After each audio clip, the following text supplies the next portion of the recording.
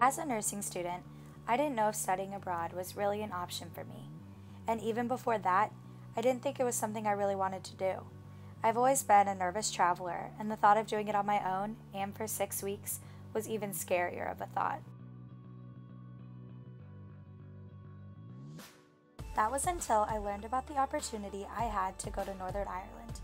IFSA Butler and my university created a program that allows pre health students to take pertinent classes while abroad. Once I did my research, I decided it was time to jump out of my comfort zone and embark on this journey.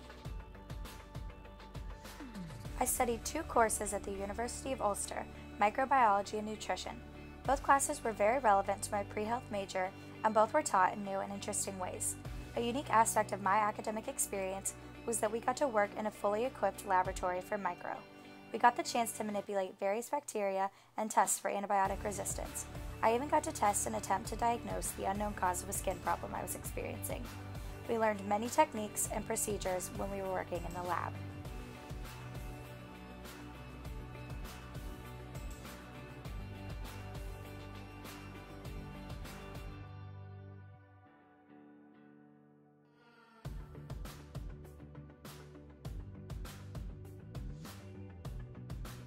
This all became too real when one Sunday my friend Bridget woke up complaining about a pain in her abdomen. We spent around 48 hours in the Coleraine Hospital trying to figure out what was going on.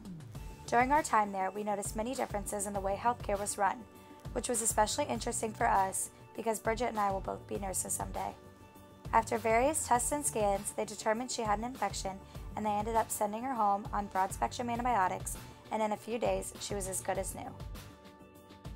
Perfect timing for our trip to London.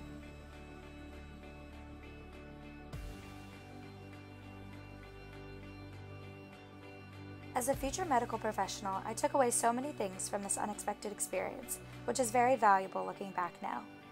If you're like me, sitting there questioning if going abroad is for you, I'm here to say stop thinking and go. Making the choice to study in Northern Ireland is one of the best decisions I've ever made. I truly left a piece of myself there on the coast. And if you don't think there's a program for you, there is, somewhere, and you should find it. Because adventure is out there, just waiting for you to tag along.